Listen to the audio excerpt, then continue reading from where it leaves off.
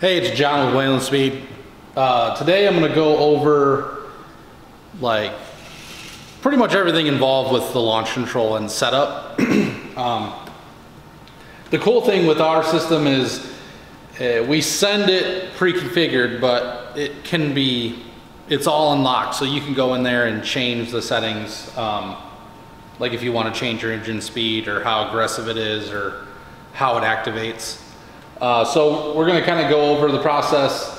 Um, obviously you would probably already have our launch control device and had it plugged in and wired up. We're not really going to go over that today. Um, but the cable, you know, that you use is the supplied cable, the same cable that you would get for uh, the PV3. um, you have to download the Dynojet software to do this. So you go to dynojet.com, support, downloads, the PowerCore software or PowerCore software download is semi-hidden, I guess. So you click on that, that would download it. I don't really need to download it. And then basically you would open up this screen, you click on the C3 tuning software. That would essentially bring you into this. All we need to do is plug this into the computer.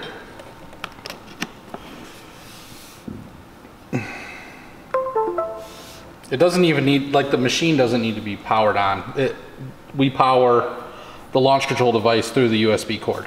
So, um, you would go to configure features, feature enables and input selections, launch control. So this is my current launch control setting for my RR. So these would normally come configured for 2200 or 2700 uh, RPM, and we would normally have a delay configured.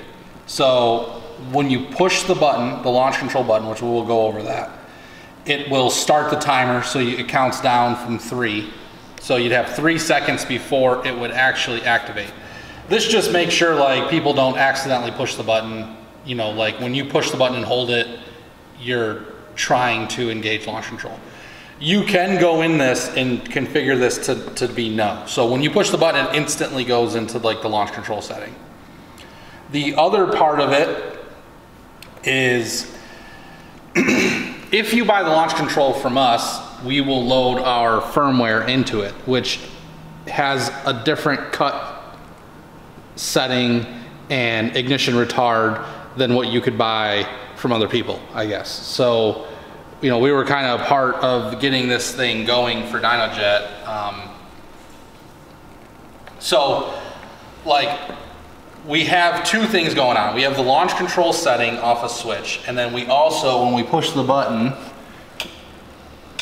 it'll go from position one to position two. So when we push the button, it'll go from position one to map position two. That gives us our own ignition retard um, that's separate from the computer. So the device will actually do the ignition retard for us. So we can pull up to 40 degrees of timing. It depends on the setup, but you know, um, and this is pulling 35 degrees from what the ECU's base is. So we do have settings that work good, pre-configured that we give you um, that'll help it build boost. Like we do offer the ME package where we help you, like if you have camshafts or bigger turbos or other things like that, I can help you set this up remotely for you to change your engine speed and get the ignition retard so we build the most boost. I'm gonna kind of go over the process of it.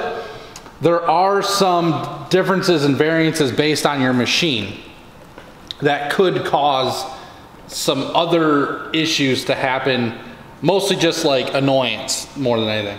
So like early 2018 models that haven't been updated from the dealership, when you push the launch control button and come up to engine speed, say 2200 even, uh, the ECU tells the car that you're slipping the belt, go into low gear. That is resolved by pushing the override button at the same time. So like in my specific setup, I have override and launch control right next to each other. But in the 2020 RRs and some of the later um, flashes from Can-Am, that those got less sensitive. So um, like my 2020, for example, I don't need to hold the override at 2700 RPM and I can sit on the two step for a while and it won't give me that belt slip code. So it, we will have a switch that replaces the override button.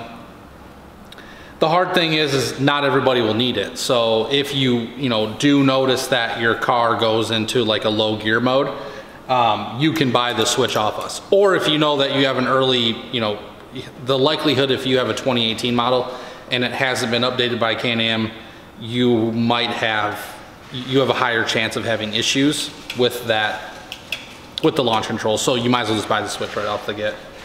Um, I'm gonna start my car up and kind of go over the process, like, you know, how I launch it at this current engine speed and how it all works.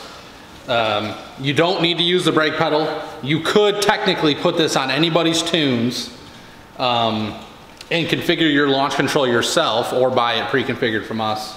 This is just like an external device. that doesn't mess with the factory ECU, you know, really at all. Um, we have updated all of our tunes to make the misfires, because it technically is misfiring when we do this. We are purposely cutting cylinders and introducing a misfire to do the things we want to do for launch control. So I'm going to start the car, get it warm, and then I'll just go over the process in the car.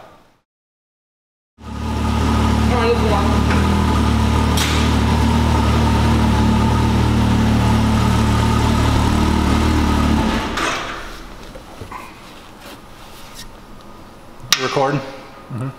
So, if you test this in your garage, please make sure that your seatbelt is buckled because it will, if the seatbelt's not buckled, you have like torque limits and stuff that come into play.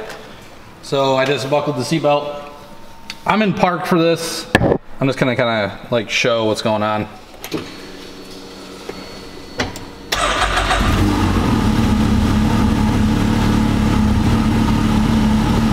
So when I push the button, you can see it go from map one to map two. so when it's in map two, you can see it's starting to cut.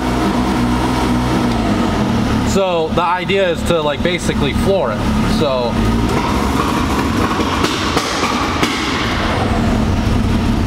So, you know, I'll, I'll, do a demonstration. So, you know, I'm not holding a brake or anything. So you just push the button. basically it. The, so like,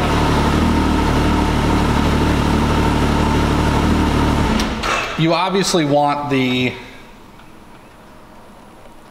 you know, when you set up launch control, you preferably don't want the belt engaging on, you know, the clutch engaging the belt on the two-step.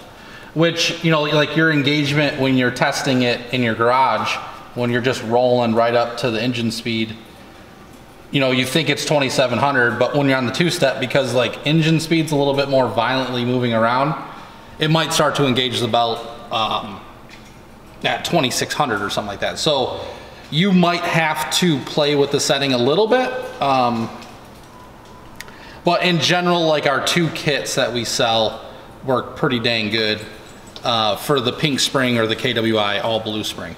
The 2200 RPM engagement or the 26, 2700 RPM engagement. So this current setup is on a, a KWI clutch with the pink spring. And uh, I, I put mine right up to the point where it was tapping the, the belt. So I'm like kind of on the edge of it, but um, they're, they're normally sent out at 2700. So there's just that little 100 RPM gap there. But yeah, I mean, like if I wanted to, like just, I'll just go over this real quick. So if I want to change this to 2500, you would send this to the device. Send. I, I don't know, I sent it a couple times just to make sure it's sent in there.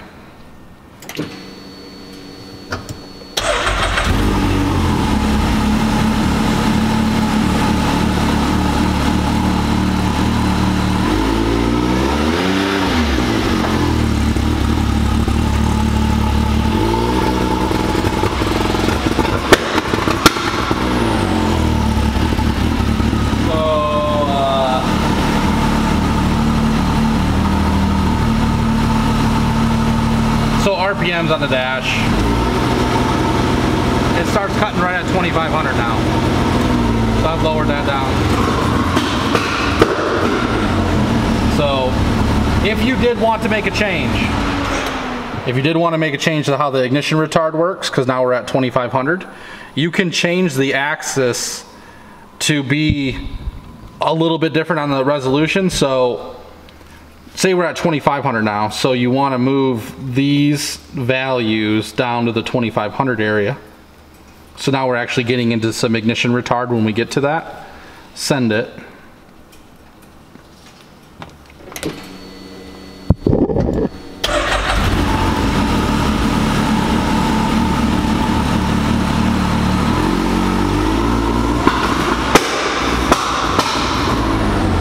It's gonna get a little more violent with the ignition retard.